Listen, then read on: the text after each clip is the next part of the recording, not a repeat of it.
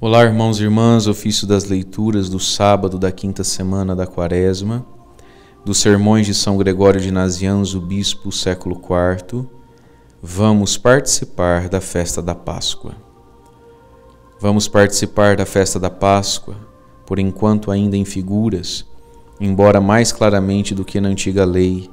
A Páscoa legal era, por assim dizer, uma figura muito velada da própria figura mas em breve participaremos de modo mais perfeito e mais puro, quando o Verbo vier beber conosco o vinho novo no reino de seu Pai, revelando definitivamente o que até agora só em parte nos mostrou. A nossa Páscoa é sempre nova. Qual é essa bebida e esse conhecimento? A nós compete dizê-lo, e ao Verbo compete ensinar e comunicar essa doutrina a seus discípulos, porque a doutrina daquele que alimenta é também alimento. Quanto a nós, participemos também desta festa ritual, não segundo a letra, mas segundo o Evangelho, de modo perfeito, não imperfeito, para a eternidade, não temporariamente.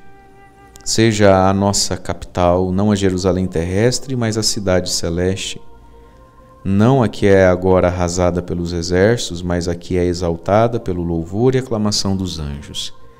Sacrifiquemos não novilhos ou carneiros com chifres e cascos, vítimas sem vida e sem inteligência. Pelo contrário, ofereçamos a Deus um sacrifício de louvor sobre o altar celeste, em união com os coros angélicos. Atravessemos o primeiro véu, aproximemo-nos do segundo e fixemos o olhar no Santo dos Santos. Direi mais: imolemo-nos a Deus, ou melhor, ofereçamo-nos a Ele cada dia com todas as nossas ações. Façamos o que nos sugerem as palavras.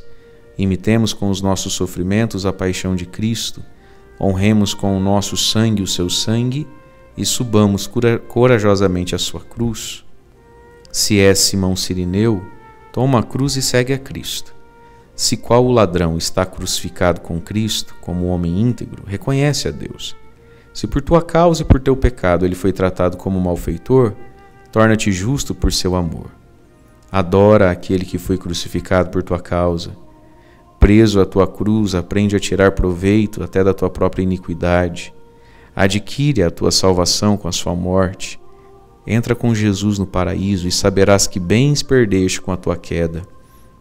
Contempla as belezas daquele lugar e deixa que o ladrão rebelde fique dele excluído, morrendo na sua blasfêmia. Se és José de Arimateia, pede o corpo a quem o mandou crucificar, e assim será tua a vítima que expiou o pecado do mundo. Se és Nicodemos, aquele adorador noturno de Deus, unge-o com perfumes para sua sepultura. Se és Maria, ou a outra Maria, ou Salomé, ou Joana, derrama tuas lágrimas por ele. Levanta-te de manhã cedo, procura ser o primeiro a ver a pedra do túmulo afastada, e a encontrar talvez os anjos, ou melhor ainda, o próprio Jesus. Oremos.